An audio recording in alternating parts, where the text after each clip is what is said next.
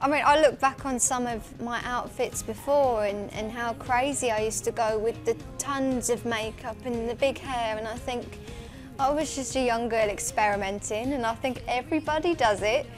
It just so happened that I was in the limelight while I was doing it, which is kind of embarrassing. I wish I could have done that before, so people didn't have to see it. Uh, yeah, it's a bit like uh, being shot out of like a dressing up box. That's how I used to look. Um, but now I wear grey jumpers.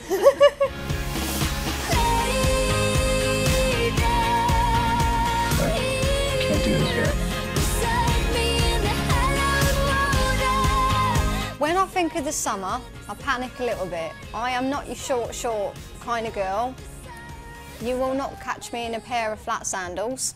That's a no-no.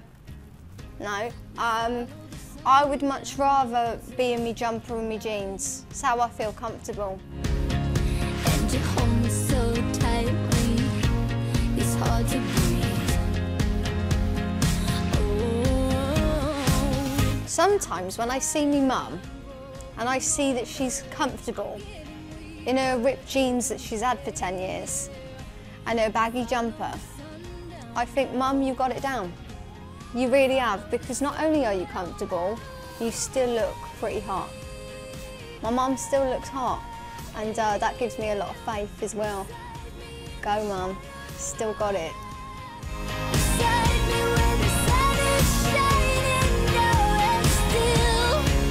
Can't promise that I'm going to stay like this. And uh, if I was to, then that might be a bit boring of me. I don't think that there's any pressure on me because if there was, I wouldn't have gone wild with all my crazy hairstyles. I would have held back and been a bit more reserved. I could see you tomorrow and have bright green hair, um, but I'd still be the same person, just a little crazier looking.